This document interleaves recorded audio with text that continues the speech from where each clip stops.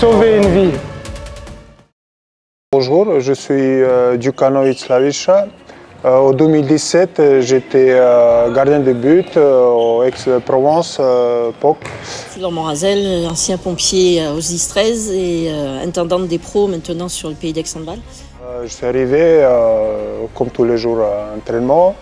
On a fait euh, échauffement avec notre euh, préparateur physique. Ça a duré euh, 10-15 minutes. Comme on fait échauffement, derrière, on, passe euh, dans la cage.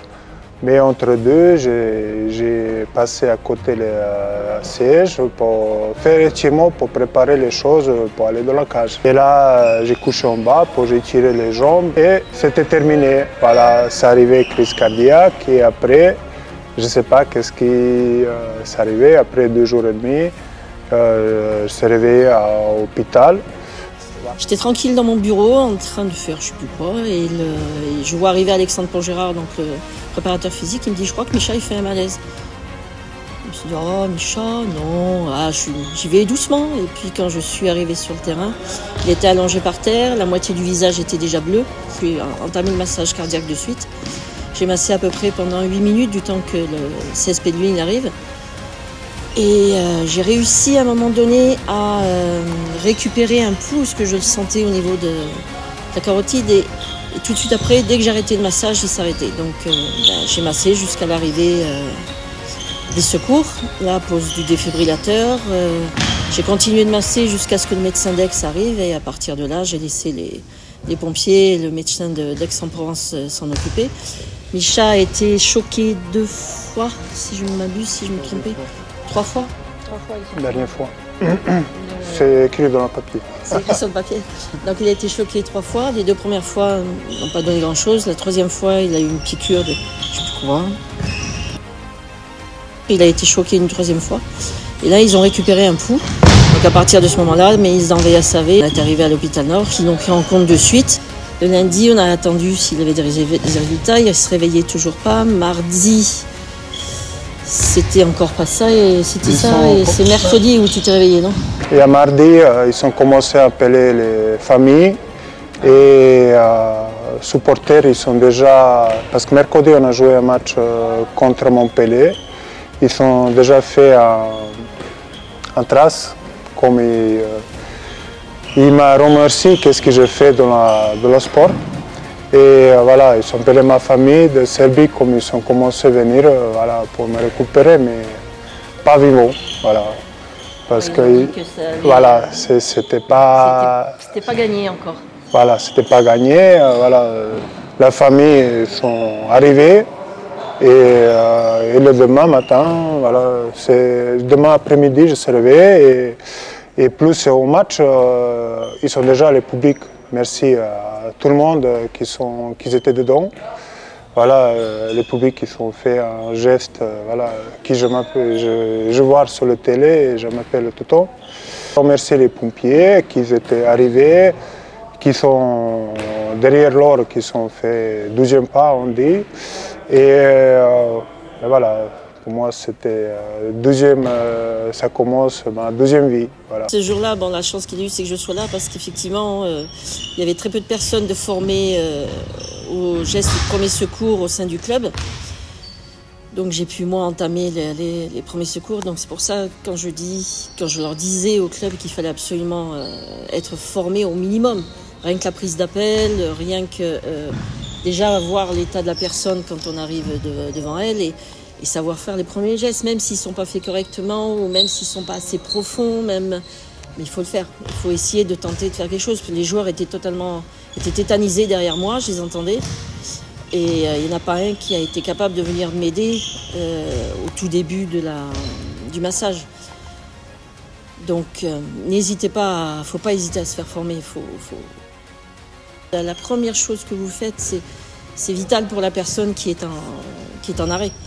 Même si c'est pas fait soi-disant correctement, il y a toujours, euh, y a toujours quelque chose à faire.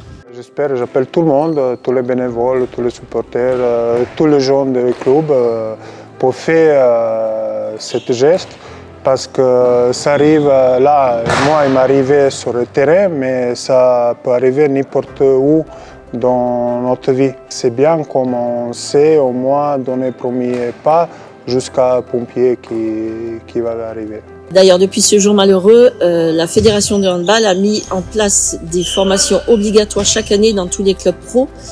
Ils doivent passer au minimum une demi-journée afin de savoir passer un appel, d'avoir les gestes qui sauvent, de faire le massage cardiaque, d'apprendre à parler à la personne qui est, comment dirais-je, qui est en difficulté. Et tout ça, c'est important. C'est, comme disait Micha, ça fait partie de, de notre quotidien si malheureusement un jour ça, ça peut arriver à qui que ce soit. Moi, j'ai fait mon, voilà, mon truc et j'ai resté trois jours, euh, trois jours et je confirmais tout ça. Et déjà là, je, je trouve vraiment, j'ai une confiance sur moi si quelqu'un il, voilà, il fait quelque chose devant, devant moi. Voilà. Tout arrive sans qu'on en ait envie. Hein. Donc, euh, il est là. On ne sait pas, mais il est là. Un minute de gagner. 10% de survie en plus. Alors ce, projet il a démarré euh, ben, parce qu'avec les pompiers du 13 euh, on a une petite histoire commune avec les, compétitions et les matchs qui se jouent, les matchs amicaux notamment pour vous préparer sur les, compétitions que vous avez. Et puis ben, on a de fil en aiguille à force de, se rencontrer, décidé de travailler ensemble, de créer ce partenariat pour essayer de, mettre le maximum de moyens à votre disposition et inversement. Et dont notamment quelque chose qui nous a semblé hyper important, ben, former aux gestes qui sauvent par rapport à des histoires récentes dans le handball et par rapport à aussi les Jeux Olympiques dans un an. Donc il y avait plein d'enjeux. Plein d'enjeux, oui. Et puis euh, j'ai rappelé à Arnaud que si quelqu'un euh, fait les gestes de premier secours avant notre arrivée, on a les chances, les chances de récupérer la personne euh, augmentent, mais quasi le double, le triple. C'est vrai que nous, dans l'idée, on a envie d'apporter cette formation au sein de nos clubs et que ça soit directement sur site. Et là, bah, l'énorme avantage du partenariat, c'est qu'il euh, y a du réseau et des pompiers un peu partout, des formateurs. Donc il y a cette possibilité de faire de la proximité euh, pour qu'on puisse mettre en place cette formation PSC1 notamment directement au sein des clubs avec euh, bah, une prise en charge du comité des Bouches du Rhône pour l'offrir à nos clubs et qu'on puisse se dire bah, peut-être dans, six mois, on a 80% de nos, clubs qui ont été formés aux, gestes qui sauvent. donc pour ce faire, on a proposé donc à Arnaud, au travers de l'Union départementale sapeurs-pompiers, euh, voilà, d'engager un partenariat justement avec notre union pour qu'ils puissent les former donc, euh, par l'intermédiaire de ces, ces moniteurs secouristes. C'est du local, donc l'union est représentée de, partout, donc euh, ça sera d'autant plus facile pour eux, pour les petits clubs, d'avoir des moniteurs de secourisme un peu partout dans le département.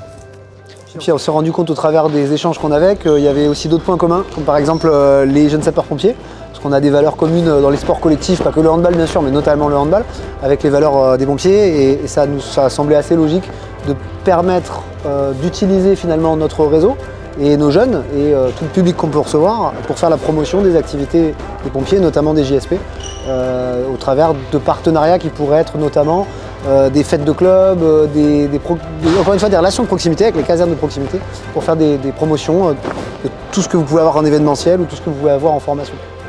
Ben, au travers de tous ces matchs que l'on fait, donc, le handball a les mêmes valeurs que notre profession, on pourra pourquoi pas attirer de nouveaux sapeurs-pompiers volontaires ou peut-être professionnels par la suite.